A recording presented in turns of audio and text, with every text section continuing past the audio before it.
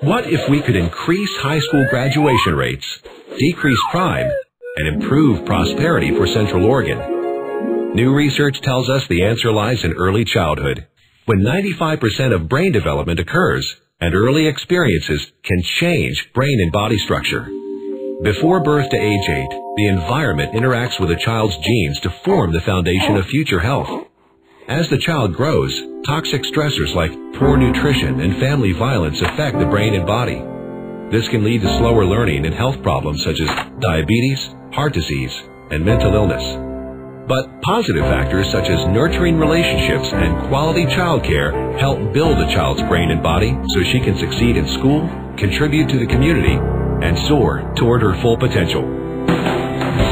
Early childhood wellness lasts a lifetime. To learn how you can make a difference, go to Deschutes.org slash EC Wellness.